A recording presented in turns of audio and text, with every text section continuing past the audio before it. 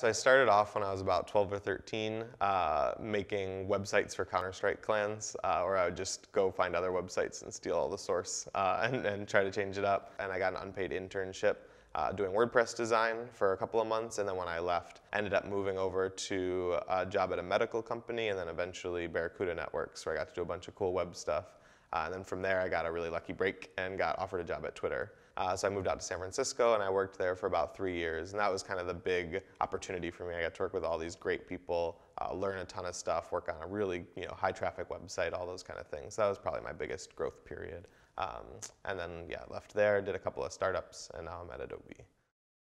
I had reached out to Mark before I had even started doing uh, workshops that I was really interested in them. And I had been a student at Front End Masters. I had been like a member of the site for quite a while. And so we kind of talked about subjects that had been requested or, and things that I was really interested in.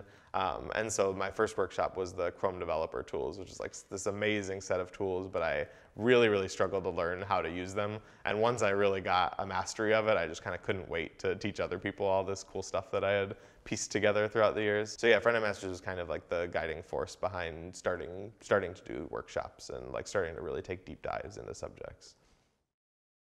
I get all these really cool all the time, like people that had seen one of my front end masters courses, they have a question or maybe even a story about something cool they had done is probably is one of my favorite things. Like people take the class and then they're like, oh hey, I work at this company and you know I was able to do this really cool performance thing that you showed me. And then yeah, other than that, like meeting people at different conferences. Like I, I, think that's my favorite thing is like keeping in touch with students is like probably my favorite part of the whole uh, workshop experience. Like I, it makes me feel really good when people can actually apply something that I've taught and get a real you know value from it.